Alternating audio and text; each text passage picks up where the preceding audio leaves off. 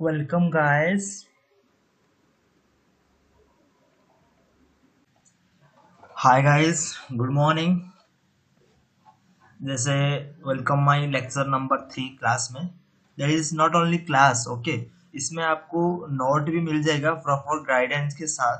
मतलब आप एक्सक्यूएल में नोट कैसे बनाओगे? वो सबसे इम्पोर्टेंट है कि हम नोट किस हिसाब से बनाओगे, ठीक है? ना तो इसलिए मैं प्रेजेंटेशन बनाया है आपके लिए मतलब स्टार्टिंग बेसिक चीज़ से एंड तक, ठीक है ना? जो भी बेसिक चीज़ से शुरू होना चाहिए एक्सक्यूएल पढ़ने से पहले, वो आपको मैं बता दिया है। उसी हिसाब में स्टार्ट करेंगे हमारा लेक्चर ओके फ़र्स्ट हम अभी थ्री चीज़ के ऊपर फोकस करेंगे फंडामेंटल ऑफ़ डाटा ओके क्योंकि एक्सक्यूएल में डाटा इस डाटा को जानने के लिए बहुत इंपॉर्टेंट है। पहले डाटा आपको नहीं पता होगा तो एक्सक्यूएल पढ़ पढ़ के कुछ फ़ायदा ही नहीं है, ठीक है? तो इसके पहले हम जानेंगे डाटा क्या है। एक्चुअली थ्री टॉपिक में लिया है, उसी लेक्चर नंबर थ्री में। The what is data what is data database and introduction of SQL okay then let's start okay first of all I am saying what is data okay data everything actually देखा जाए तो everything is data आप क्या कर रहे हो? अभी जो भी आप काम कर रहे हो ना, वो भी आपके लिए डाटा हो सकते हैं। बोले वो इम्पोर्टेंट ना हो, फिर भी वो डाटा हो सकते हैं। दैट मीन्स आपका लाइफ में रिलेटेड जो भी काम हो गया, भी अभी चल रहा है, वो सो डाटा ही है। दैट मीन्स अभी मैं सिंपल वर्ड में आपको एक्सप्लेन किया है।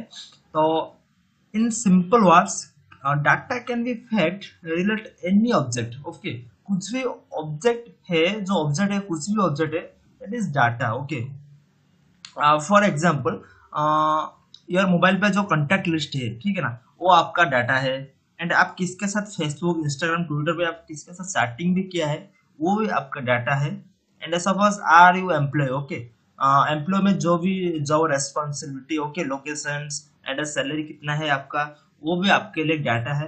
And any your house number date of birth date of birth also and your age everything use data okay I hope properly वो अंडरस्टैंड डाटा हम किसको क्या एक्चुअली डाटाबेस पढ़ने से पहले हमको एक डाटाबेस का छोटा सा कंसेप्ट क्लियर होना चाहिए। ठीक है? तो what is database database actually है क्या? मैं आपको आसान भाषा से समझाऊँगा अभी। तो डाटाबेस दैट मीन्स छोटे छोटे डाटा को हम जो जिसमें स्टोर करते हैं, वही है आपका डाटाबेस फॉर एग्ज़ाम्पल आप, आपका आपका पास बहुत इमेज है, बहुत म्यूज़िक है आप आप किसमें स्टोर करते हो? आपका फ़ोन में internal without and external memory में। एंड कोई भी, कोई लोग हार्ड डिस्क में लैपटॉप का हार्ड डिस्क में भी स्टोर करता है। कोई कौन मेमोरी में भी स्टोर करता है। वही आपका डाटाबेस है। ठीक है ना? पहले कंसेप्ट क्लियर होना चाहिए सबका। ठीक है ना? Database is a storage system that has collection of the data okay जैसे मैं बोला अभी। छोटा छोटा डाटा को कलेक्शन करके स्टोर करना, जिसमें हम स्टोर करते हैं, वही एक्चुअली डाटाबेस है।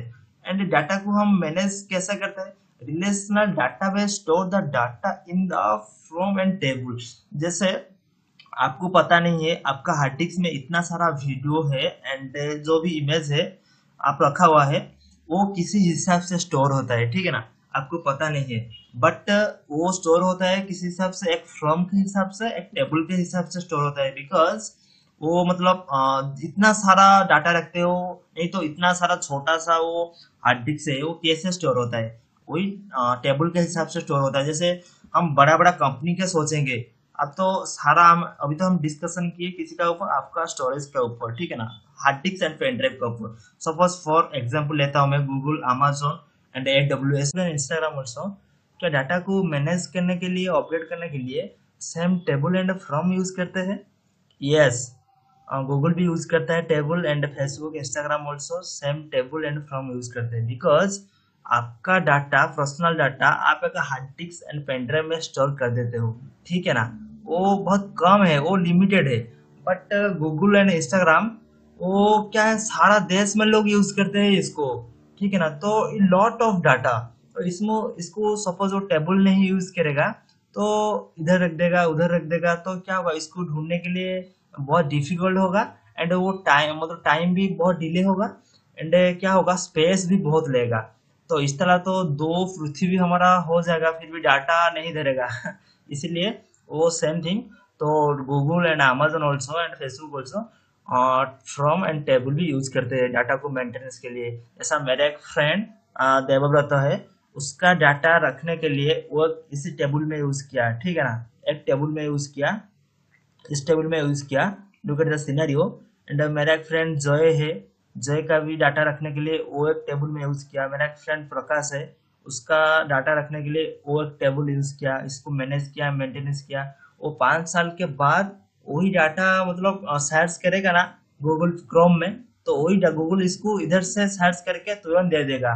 इसलिए और कई कंपनी डाटा को मैनेज करने के लिए टेबल एंड फ्रॉम ही यूज़ करता है because it is fine to easy okay मतलब इजीली हमको मिल जाता है एंड गूगल को भी ढूँढने के लिए आसान होगा।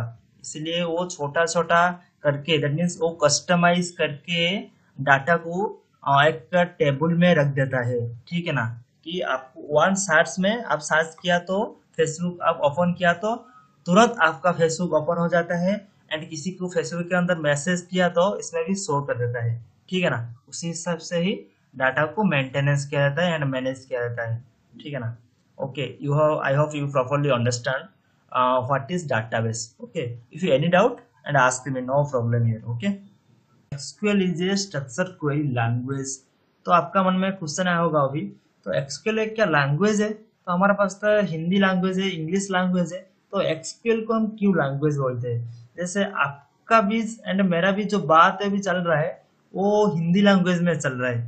तो हम दोनों का कम्युनिकेशन किस तरह हो रहा है? हिंदी लैंग्वेज के थ्रू ही कम्युनिकेशन हो रहा है। तो इस तरह सेम टू सेम हम डाटा के साथ कम्युनिकेट करेंगे तो जैसे मैं look at the scenery guys user and data data के साथ हम कम्युनिकेट करेंगे ना तो किस लैंग्वेज के थ्रू करेंगे? हम एक्सक्यूएल लैंग्वेज में थ्रू करेंगे ओके तो SQL is a domain specific language पहले हम डोमेन स्पेसिफिक एक्चुअली है क्या? तो क्यों मैं आपको आसान भाषा से समझाऊँगा अभी। तो domain specific that means SQL को हम रिलेशनल डाटाबेस में ही ओनली यूज़ कर सकते हैं। वो लैंग्वेज किसी में भी यूज़ नहीं होगा ओनली रिलेशनल डाटाबेस में यूज़ होगा। इसलिए हम एक्सक्यूएल को डोमेन स्पेसिफिक लैंग्वेज बोलते हैं। ठीक है ना? Next SQL is a RDMS product actually SQL only RDMS का ही प्रोडक्ट है। वो relational data management service management system okay तो uh, इसका फुल फॉर्म पता हो गया आपको। ओ SQL is a domain specific language SQL is a RDMS product RDBS product क्यों फिर बोलते हैं हम? क्योंकि वो रिलेशनल का रिलेशनल डाटाबेस मैनेजमेंट सिस्टम में ही यूज़ होता है। And it is a declarative language declarative language that means what to do because what to do इसको हम क्या कर सकते हैं? And Java and Python also how to do also and what to do also but SQL only what to do because only क्या कर सकते हो? इस तरह हम एक्सक्यूएल को डिस्क्राइब कर सकते हैं। हाउ टू डू नहीं, वो नहीं कर सकते। क्या कर सकते हैं, वो नहीं हो सकता है। ठीक है ना? आई होप यू अंडरस्टैंड ना properly and SQL is an a back end tools there are two types of tools मैं आपको सेपरेट वीडियो बना दूँगा। Back end tools one front end tools okay there are two types of tools मैं आपको separate video बनाऊँगा। इसका ऊपर भी एक टॉपिक बनाऊँगा। बैकएंड टूल्स में कौन कौन आता है एंड फ्रंट एंड टूल्स में कौन कौन आता है, ठीक है ना? तो एक्सके लीजिए बैकएंड टूल्स क्योंकि user can can not directly interact okay user इसमें डायरेक्टली इंटरेक्ट नहीं हो सकता है, इसलिए एक्सक्यूएल को हम बैकएंड टूल्स बोलते हैं। Let's see point number five it is, can be used, monitor and control data access by user. User के थ्रू वो डाटा को यूज़ कर सकता है एंड कंट्रोल भी कर सकता है एंड एक्सेस भी कर सकता है। ठीक है ना?